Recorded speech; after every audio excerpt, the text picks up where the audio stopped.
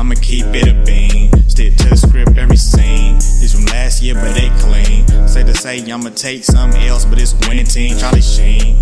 Fam gang the regime.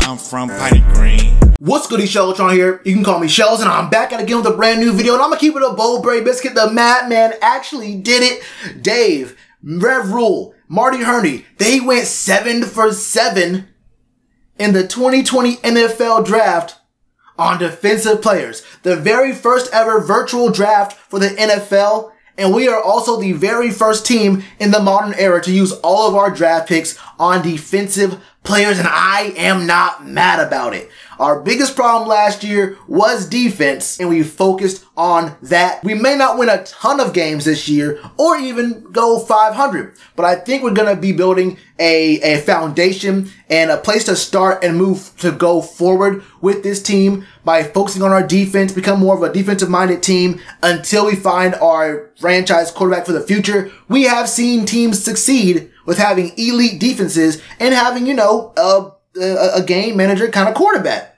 We saw that kind of team in the Super Bowl this year. He just went up against the best quarterback in the league, and you know they he saw what happened. The point is, going for all defense seemed to be the very best plan we could have gone for. In the seventh round of the draft, the Panthers went ahead and got Stantley Thomas Oliver, a corner out of FIU, and this makes our draft three defensive linemen and four players who are in the secondary, four defensive backs. This is really good. Stantley is six foot. He's about 200 pounds, 190 ish kind of, and he ran a 4.48 in the combine. He has some pretty decent stats in his three years at FIU. He started out as a receiver, did that for one game, one year, and then he got switched over to corner. And that makes him a kind of interesting prospect where on one hand, he has the experience of a receiver, so he knows how defenses think, and he knows like how the quarterback's be looking at the play and how receivers are moving around. Maybe has better play recognition, but as a corner, he is also kind of raw there. He only has two years experience at FIU. They don't really play the best competition in their conference, but as a seventh round pick in a position of need for the Panthers, it's not all that bad to get a guy you can say has some really good physical traits and a unique, I guess, perspective on the position that you can just see what sticks. You, you, you pick him up, bring him in, see what sticks, see what he has on him, and you can just go from there, move forward. He might be a great special teams player for the first one or two years. That's cool with me, but for all that stuff about, you know, being a seventh round pick, you don't have to have that much pressure on you. There's not like a huge amount of expectations on you. There were some things that I noticed when I watched some of his game film that stuck out to me a lot. And one isn't all that bad. One's just a, it's an observation. The other thing, my second point, is extremely, extremely concerning. It's a huge red flag for me. I'll get that here in a second. The first thing is how he plays in coverage. First off, you may see him play in the press a little bit. He played in the press sometimes at FIU, but he is not a corner who will be jamming anyone at the line of scrimmage. He will not be fighting anyone in the first five yards. He'll give you a one-hand punch and then go back into coverage. He's not going to be sitting there, you know,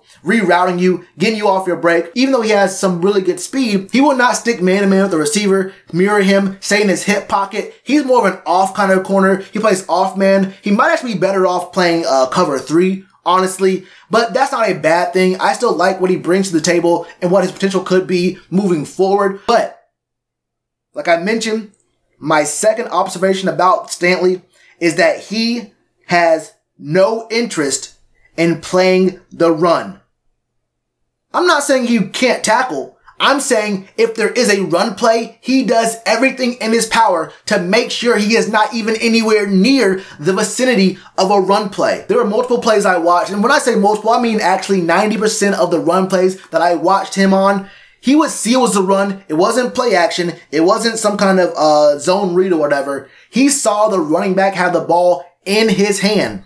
And he did everything to hand fight with the receiver, saying, okay, I'm getting blocked over here. The plays on this side of the field, you would not even see him cross into the frame at all. The running back would come toward him, and he's somewhere else doing something else. He was not making an effort. You can tell what effort is, and you can see when a guy wants to be part of a play, when he's fighting, even if you can't get there. If you can't get there, but you're showing effort to get there, you can tell when a guy is showing that and when a guy is trying not to be in that action and Stantley Thomas Oliver did not want that action.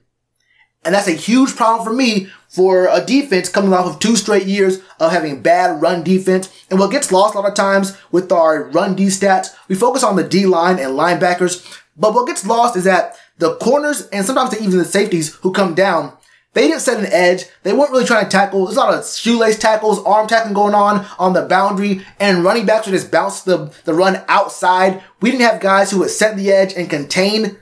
This man will not do that.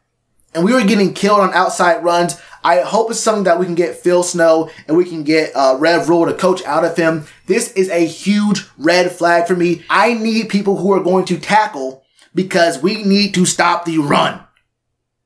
I know we have Brady, we have Brees, and we have Matt Ryan in our division, but if you can't stop the run, you're not going to win very many games. It's simple as that. It really is as simple as that. But overall, as a seventh round pick, I actually like Stantley Thomas Oliver. I think he'll do well here. He has to just figure out how to be brave against these running backs. That's all it is. Find it in your heart, brother. Find it in your heart. Be brave.